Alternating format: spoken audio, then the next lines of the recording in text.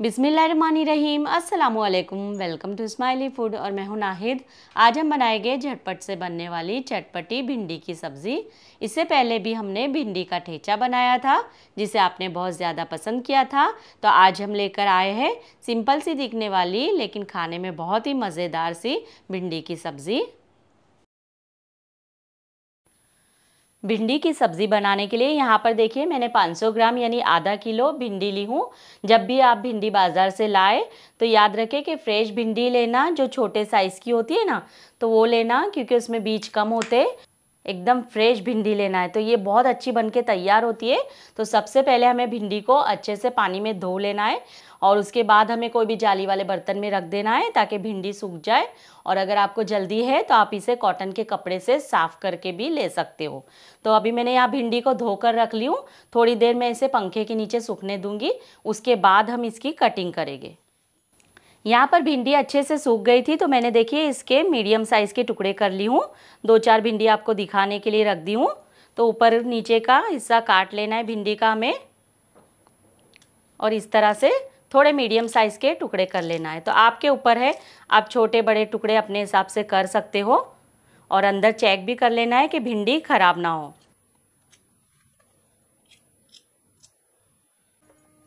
तो यहाँ पर देखिए, सभी भिंडी हमारी कट चुकी है। हमने 500 ग्राम भिंडी ली थी। उसमें से ऊपर नीचे का हिस्सा काटने के बाद इतनी भिंडी बची हमारी। तो चलिए अब भिंडी की सब्ज़ी बना लेते हैं। अब देखिए, भिंडी की सब्ज़ी बनाने के लिए गैस पे मैंने एक कढ़ाई रख दी हूँ। उसमें तीन से चार चम्मच तेल डाल देते हैं। तेल गरम हो गया है। इसमें हम थोड़ा सा ज़ीरा डाल देंगे और ज़ीरे को अच्छी तरह से तड़कने देते हैं। ज़ीरा अच्छे से तड़क गया है। देखिए, यहाँ पर थोड़े से मैंने सूखे वाले मेथी के दाने लिए हैं। इससे खुशबू बहुत अच्छी आएगी हमारी सब्ज़ी में और डाइजेशन के लिए भी बहुत अच्छी होती है मेथी दाना। तो अगर आपके पास है तो डाल दे, वरना इसे स्किप भी कर सकते हो।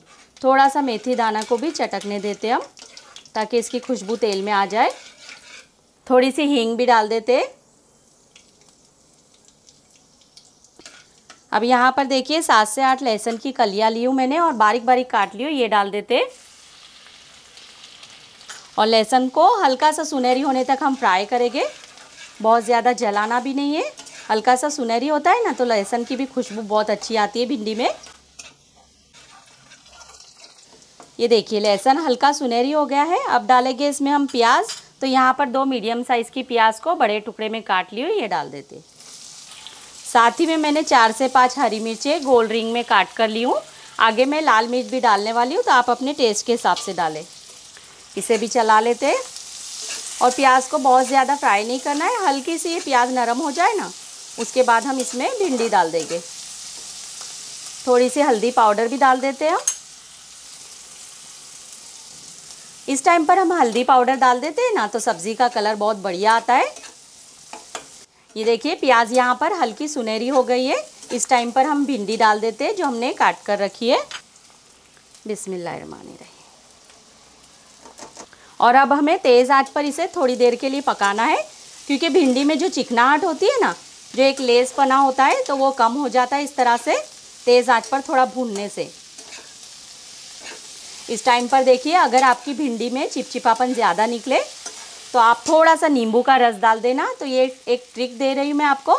इससे आपकी भिंडी चिपकेगी भी नहीं आपस में और खिली खिली बनकर तैयार होगी। और टेस्ट भी बहुत बढ़ जाता है। तो थोड़ा सा नींबू का रस डाल दी मैंने। यहाँ पर देखिए, तेज़ आँच पर मैंने चार से पाँच मिनट के लिए भिंडी को अच्छे से भून ली हूँ। भिंडी हमारी यहाँ पर अच्छी ज़्यादा सॉफ्ट हो गई है। अब इसमें हम मसाले डालेंगे बाकी के।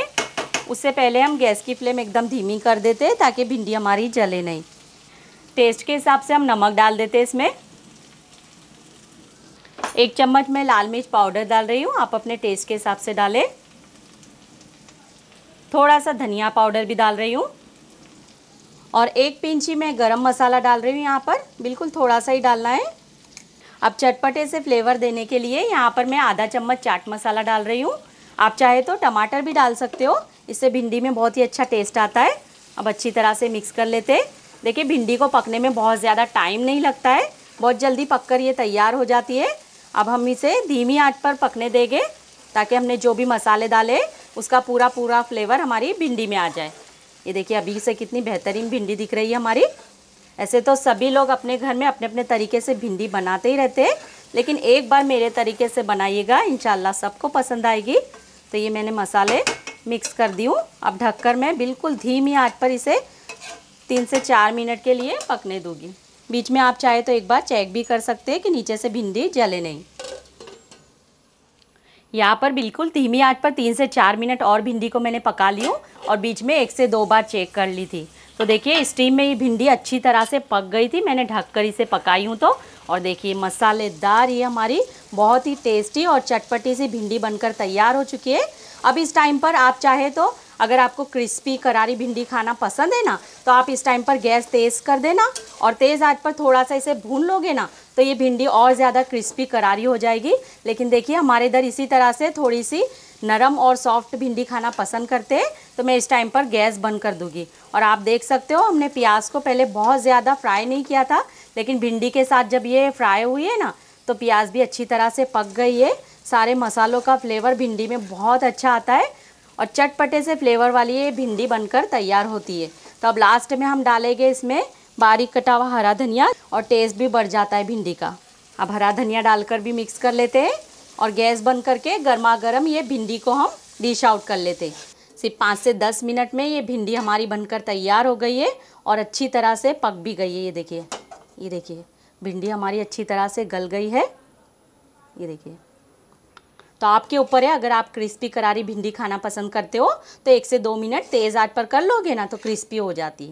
चलिए गर्मा गर्म हम ये चटपटी सी भिंडी को डिश आउट कर लेते ये देखिए, मज़ेदार सी ये भिंडी हमारी बनकर तैयार है। कितनी चटपटी और मसाले से भरपूर दिख रही है।